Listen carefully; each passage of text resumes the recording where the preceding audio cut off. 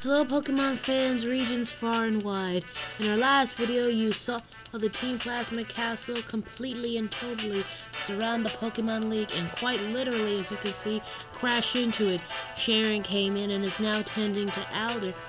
Also, as you can see, and me, I'm about to climb up these stairs and face Team Plasma for what I hope will be the last and final time. But it isn't just to beat the them that I take off from this, this nefarious group. I'm fighting them for the preservation of bonds between Pokemon and people everywhere. And also, the bonds between my Pokemon and myself. No, not just Pokemon. My friends, my family, my partners.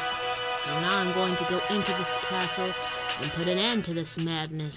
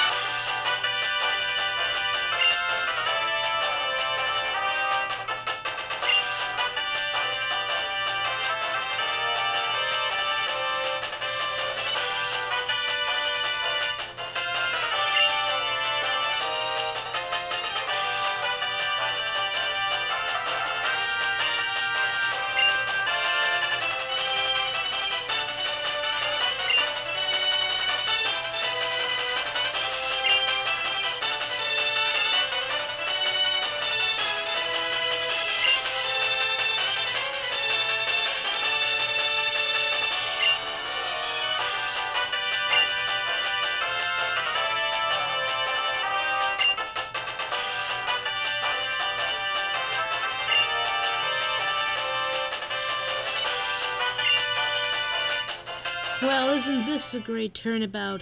The Pokemon Gym leaders from all over Unova have come to help me and are now holding off, off six of the seven sages so that I'll be able to proceed and face off N at last. I just hope that I'll, I'll be able to stop him before it's too late. But Zekrom, where are you?